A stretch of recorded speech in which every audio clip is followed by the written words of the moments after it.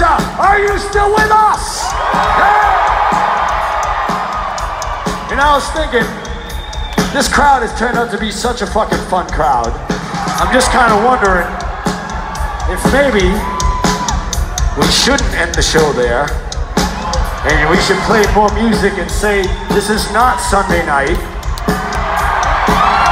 Let's just say you don't have to work tomorrow or see your stupid ass teachers. Tonight as Saturday fucking night. What do you say? Like right now, let's make it Saturday. I think we should do one for fun. You guys want to do one for fun? Hey, by the